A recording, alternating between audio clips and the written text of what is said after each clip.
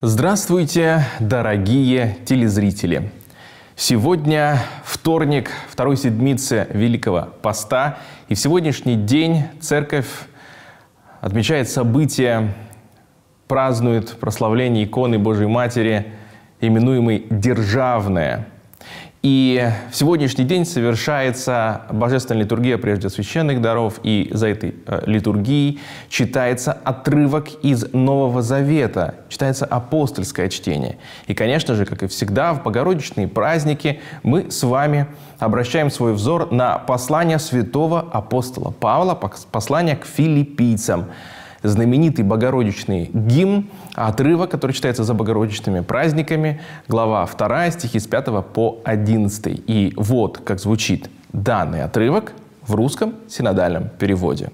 «Ибо в вас должны быть те же чувствования, какие и во Христе Иисусе. Он, будучи образом Божиим, не почитал хищением быть равным Богу, но уничижил себя самого – приняв образ раба, сделавшись подобным человеком и по виду став как человек. Смирил себя, быв послушным даже до смерти и смерти крестной. Посему и Бог превознес его и дал ему имя выше всякого имени, дабы пред именем Иисуса преклонилось всякое колено небесных, земных и преисподних. И всякий язык исповедал, что Господь Иисус Христос в славу Бога Отца. Итак, дорогие братья и сестры, вот такой богородичный отрывок предлагает нам сегодня к назиданию церковь. И мы всякий раз, когда чтим память Божьей Матери, чтим память икон, посвященных ей, мы читаем именно этот отрывок.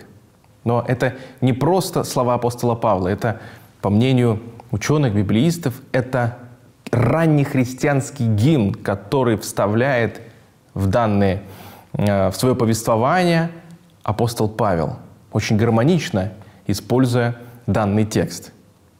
Он богословски насыщен одним из важнейших учений Христовой Церкви, учений о Боговоплощении, которое пришло в мир через новозаветную скинию, через Божию Матерь.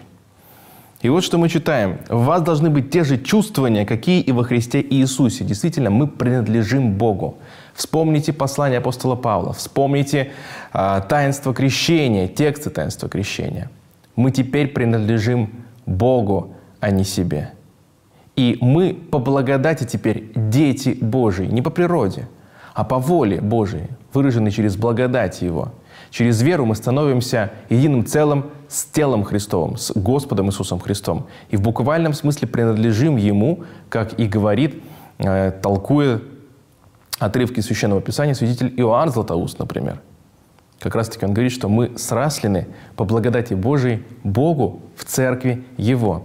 Итак, если мы сраслены Богу, если мы принадлежим теперь не себе, но Богу, то в нас и чувствования должны быть такие же, как и в том, благодаря которому стало возможно это соединение человеческой природы и природы божественной, которое соединилось в воплотившемся Слове Божьем во втором лице Святой Троицы, Господе нашем Иисусе Христе, после Его воплощения, Его смерти, трехдневного погребения и воскресения. Итак, в нас должны быть те же чувствования. А какие это чувствования? На что должно быть направлено сердце христианина? И здесь приводится пример жизни Спасителя. Действительно, когда мы читаем Евангелия, в которых зафиксировано учение Господа Иисуса Христа, передаваемое из уст в уста изначально, зафиксированное э, письменно в Евангелиях и э, осмысленное и осмысляемое церковью по сей день в церковном предании, в пространстве э, церковной веры. Соответственно, здесь пересказывается жизнь Христова, его отношение к Богу и э, к тому положению, в котором он оказался, воплотившись, став человеком. И как и в Евангелиях, мы читаем о том, что Господь говорит, что кто хочет спастись, тот возьми крест свой и следуй за мной. Вот это следование за Христом прослеживается и вот в этом тексте. Он, будучи образом Божьим, не почитал хищением быть равным Богу, Вспомните грех Адама и Евы, которые попытались украсть благодать Божию, украсть познание добра и зла, нарушив заповеди. Тем самым они именно пытались похитить то, что Бог и так даровал бы им по испытании их верности. Он не захотел, как второй Адам, как его называет еще Священное Писание, Святотеческое учение, Христос – второй Адам. В Адаме мы все умираем, а во Христе мы все оживаем. Он, будучи образом Божьим, не почитал хищением быть равным Богу, как это сделал Адам, первый человек – не почитал хищением, но уничижил себя самого, приняв образ раба, сделавшись подобным человеком и по виду став как человек. Смирил себя, быв послушным даже до смерти и смерти крестной. Смирение и кротость – вот путь каждого христианина. Смирение перед своим собственным несовершенством и понимание того, что свободу от этого несовершенства дает только послушание Богу – и готовность нести все последствия этого послушания, готовность бороться с грехом внутри себя, на что и направлена вся традиция постов Церкви Христовой, православной. Он смирил себя, быв послушным даже до смерти и смерти крестной. Он готов был даже отдать жизнь, следуя Слову Божию, следуя призыву Бога он должен был умереть, как нам говорит и пророчество Исаия, и вообще вся ветхозаветная школа пророчеств, говорящая о Мессии, как о Мессии страдающем. Посему Бог превознес его и дал ему имя выше всякого имени. То, о чем мы многократно с вами говорим, о том, что Бог, Он есть Творец. Но Господь Иисус Христос совместил в себе две природы, природу божественную и человеческую. И вот его природе человеческой было дано имя выше всякого имени. Оно было возведено по благодати в то состояние, к которому и призван был человек. Поэтому Господь Иисус Христос – это есть начаток среди перворожденных от смерти, рожденных в жизнь вечную. Он есть наш начаток. Именно благодаря Его воскресению мы и надеемся на воскресение, и имеем возможность Его. Посему Бог превознес Его и дал ему имя выше всякого имени, дабы пред именем Иисуса преклонилось всякое колено небесных, земных и преисподних.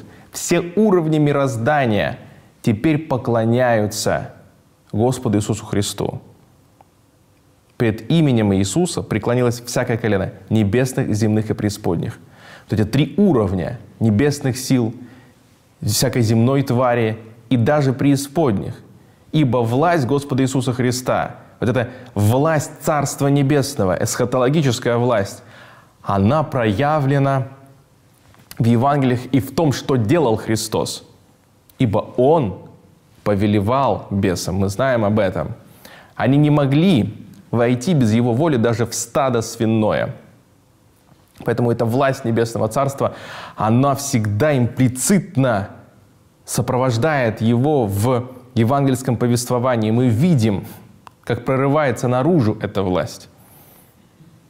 Поэтому всякое колено небесных, земных и даже преисподних. И всякий язык исповедовал, что Господь Иисус Христос в славу Бога Отца.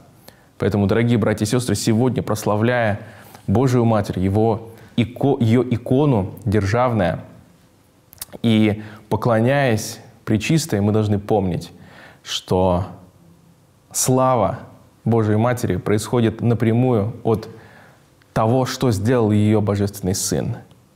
И эта слава доступна каждому из нас.